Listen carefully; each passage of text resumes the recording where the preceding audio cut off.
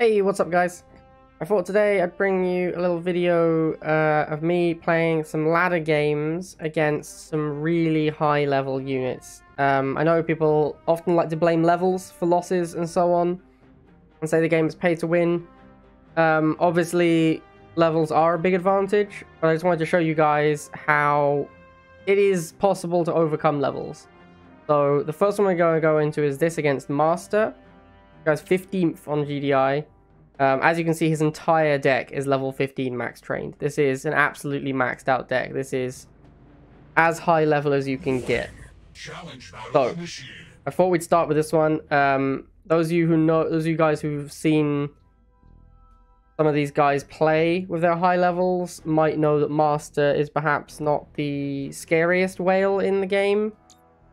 Uh, but he is all level 15s, so I thought I'd show you this one. So we'll speed it up at the start. So uh, I played against this guy a few times. I know that his deck is shocks and vehicles. That's why I open lasers, because I know he's going to open dogs every game. Uh, so I get lasers out here. I save up here. I was planning to make um, Marauders, but changed my mind when I see him making a second dog squadron. So obviously he makes the shocks and I respond with a Chem Buggy.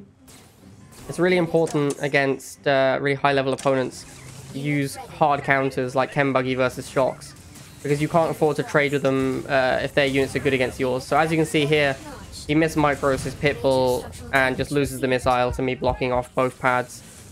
So another Chucky comes out. Uh, we go and take on these shock troopers. He does a reasonable job keeping away, but uh, you know, not good enough. A little bit close here. I get some chip damage on his Orca, and again, I get some more chip damage on his Orca. As you can see, I'm staying staying away from his Orca. I don't want to drive into this because this will fire.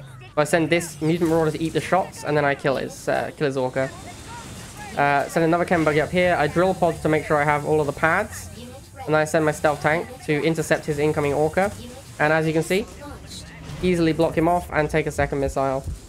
Now, I'm not suggesting this guy played amazingly, but he didn't play absolutely horrendously or anything. He but he, he just had all level 15s. I want to show you guys that really all level 15s, while scary, is not something that's completely unbeatable. And my levels aren't even that good here. As you can see, I've got three, four, four 13s and a couple of 11s. And I beat a guy with all 15s. So I want to show you guys that. Uh, okay, so the next one I'm going to show you is this is a really good one. This one's good. This is against Exum. So Exum, I don't know, again, you guys might not know, uh, I don't know how much you guys follow my stream, I don't know how much you guys know about the, the top ladder players. Exum is really good. Exum is actually like a very good player. He used to play No Harvester aggro a lot. Um, but I, I talked to him a lot on, on Discord and he asked my advice and so on. And I've said to him like, dude, you need to stop doing No Harvester aggro every game. Like just, just learn to play the game properly. And he did. And he's a really talented player now. So I'm going to show you how this game goes as well. Um, spoiler alert, obviously I do win. Uh, that's the point of the video is to show that you can beat levels. So he opens wheels. Uh, because we're playing as Nod, I open lasers because we don't want to get punked by a bike rush. And my War Factory doesn't have tank or bikes in it. So he makes flamers and, uh, and missiles, so I make the Chem Buggy. So as you can see here, this isn't going great for me. Uh, my Chem Buggy kills his lasers really quickly. Uh, and I get my wheels down here to kill his flamers, and then my lasers go on his wheels. I think I actually misplayed this a little bit. Yeah, I misplayed. I moved my lasers by accident. I was trying to retarget, and I end up shooting the flamer squad, and he actually does end up taking the first missile. But that's mostly because I misplayed there. Like, if I killed the wheels, I would have been able to block, and I would have taken that first missile. So we'll uh, speed up a little. But yeah, here I start making Mutant Marauders. Um, he's got a lot of vehicles. So this deck I'm playing here is from SRPSS. He's, he's been refining it really talented player. He was the winner of my Colosseum this month, or last month, I should say. Um, basically, the idea of the deck is you get Mutant Marauders and you protect them with a Chem Buggy. It's a really strong deck, guys. Like, uh, I think Mutant Marauders are actually pretty good now. Um, I will say the deck is a lot better against Nod than it is against GDI, because the deck is quite weak to air. It doesn't have good answers to Orca or drones. So if you do play against the meta GDI Suzaku deck, you are this deck is a little weak. But against the meta Nod deck like this, very, very strong. As you'll see in this game. So, anyway, back to the game. Uh, he kills my Harvester. I don't even bother defending it because there's no way I can get over there in time. So I just let his Stealth Tank kill it. But as you can see, we just set up Mutant Marauders on every pad. Mutant Marauders plus Chem Buggy. And uh, it's just impossible for him to clean it up in time. Like you can see, we down here, we kill everything. And yeah, we just take the second missile quite quite happily there. So we're still doing okay here. The, the economy is reasonably even. I was able to kill his Harvester by sending Mutant Marauders at it. Mutant Marauders do a lot of damage to Harvesters. They, once you get a Mutant Marauder on a Harvester, it goes down pretty quickly. Um, yeah, more Mutant Marauders and uh, and Chem Buggies. It really is just the, the, game plan of the deck is just Chem, Chem Buggy and Mutant Marauder with the dr Drill Pod occasionally. He goes after my Harvester here, which I'm okay with. I don't care about that. A little swap here to get the units. Chem Buggy goes after his Drill Pod. If you actually notice there, the Mutant Marauders did almost all of the damage to the Drill Pod because it is a vehicle when you spawn it. Be careful when you're spawning your Drill Pod not to do it next to anti-vehicle units because that will happen. And as you can see, I just have complete control.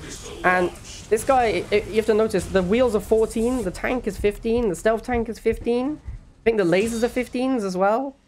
And I'm playing with like level 11s here. So, as you can see, playing well and having the right matchup can actually be way more important than levels. Let's just take a quick look. Yeah, like 15, 15, 15, 14, 14. I'm playing with like 11s and 12s and a, and a few 13s. Um, so yeah, as you can see, if you have the right the right deck to fight their deck, like I think this deck is actually extremely good against the deck Exum Brought. I think this deck is just very strong against Nod. And if you play well, you play tight, you can uh, you can end up winning the games. Okay, the last one I'm going to show you is this one. Uh, I'm not sure how to pronounce this guy's name, uh, but he has an all-star career. This guy is kind of a monster. He's shown up on the ladder recently. A very high level player, very very high level. Pretty good at the game as well. Um, so this one I saved not just because of his levels, but also because I think this was just a really fantastic game. So I'll show you this one. Uh, so I'm playing classic Nod aggro in this game, not the Mutant Marauder deck. So my levels are a little higher than they were with the Mutant Marauder deck. But as you can see, even off the bat, I've made 12s, and he's made 14 and a 15. So even right off the bat, I'm behind. Um, I think making bikes is a mistake in the Nod Mirror as your first unit after wheels. Because then this is going to happen to you. You're going to get a tank chasing you down. And if you're not careful, you lose your whole bike squad. So he goes lasers, I go into militants to counter it, and I basically try and keep my tank near my militants to protect them from wheels, and occasionally I get a cheeky shot on the bike. So I'm okay with the militants dying, they're pretty cheap, I don't mind losing them. Um, to kill off the unit that I killed there. So his, here comes a 14 stealth tank, finishes off my, my tank. So this guy basically, because he's playing the artillery, he's cut the Scorpion tank. So he's playing Stealth Tank as a replacement for Scorpion tank. Which I do think gives me a little bit of an edge. Because uh, the Stealth Tank is not a good replacement. So this missile gets a little tricky. He gets the wheels on because I don't block properly. Down here, I'm in trouble. Uh, up here, I'm, I'm doing okay because I've got a Scorpion tank. But yeah, this is bad for me. Don't think there's any way I can recover here. And no, there isn't. I lose the first missile. Which is unfortunate, but you know, sometimes you lose missiles. Uh, so we push in our units here. This is to try and get good matchups because I knew I'd lost the missile. I wanted to use my units to fight his units in good matchups. So we get some militants on his, his lasers down here. So I'm basically looking to get my tank on his stealth tank whenever possible. Because a stealth tank volley won't kill a tank, but a tank can run down a stealth tank.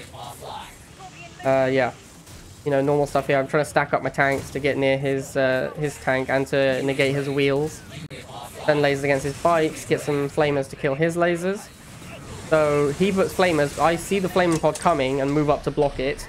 Because I move my flamers up here and block, I'm also worried these guys are going to die. So I move these wheels onto the pad. Yeah, in fact, the guys do die, but the wheels are there in time. And I'm blocking the net down here with my flamers. So this was uh, quite an intense micro required there, but we do end up getting him. A little bit of a heart explosion there. Um, so he's way too many stealth tanks at this point, which I notice. I see he has three stealth tanks. So I move into lasers and a wheel squad to kill his flamers because uh, this is too many stealth tanks and he's pop capped on these things. But he can't make any money. So he realizes as well that he's super pop capped. Tries to send in the stealth tanks. So that's why I pull back. I don't want to get double tapped by these stealth tanks. I kill the low hit point one there. Uh, I get some damage on the other one. Like pretty good, pretty good for me overall. I think he might be looking to make artillery here. No, he makes another stealth tank. So I think that's an error. I think he had enough money to make an artillery there. Probably could have done so. Yeah, as you can see, he's just using stealth tanks to as a replacement for regular tanks. So we get wheels to go after this. Uh, my tank takes over over here. I get this tank dancing back and forth to try and fight both pads. He has a stealth tank come in and finish it off. Uh, I get more tanks. I think the, the fact I have Scorpion tanks is, is helping me a lot here. I get a Scorpion tank to finish his Harvester, and I drill pod up here and block down here. And then, yeah, as you say, I block, block off with the tanks, and there you go. Take him down. So as you can see, that one was a little bit closer in levels than the other two I showed you. But it was a pretty intense game. Um, I think if he had made the artillery, I would have been in a lot of trouble, but he never actually got managed to get one out. Good for me. Um, but let's just take a quick look at those levels. So this one, as I say, is a little bit closer, but even then, I mean, I have three 12s, and his lowest level is 13 on the artillery and the Ceph. He's got three, four 14s and a 15. I've got one 14 and three 12s, uh, four 12s. Big level difference. Uh, but really, I wanted to show you this one, where I'm massively out-leveled, and this one, where the levels are absolutely outrageous. I mean, he's all 15s, and my highest is a 13 and I'm still running 11s, and I still I still won that game very easily. So yeah, uh, thanks for watching, guys. I just thought I'd show you guys that, uh, you know, with the right strategy and the right tactics, you really can defeat levels. Levels are not the be-all and end-all. Obviously, they're an advantage. But yeah, the game is really significantly less pay-to-win than a lot of the games of this ilk that I've tried. Um, other games of this nature that I've played, something, a level disadvantage like that, the game would just be immediately over. Your units wouldn't even function. And there'd be no way to win. But this game, obviously, you can control your units. There's a lot more you can do. Okay, guys, uh, thanks for stopping by. And uh, don't forget to like and comment and subscribe. All right, peace out.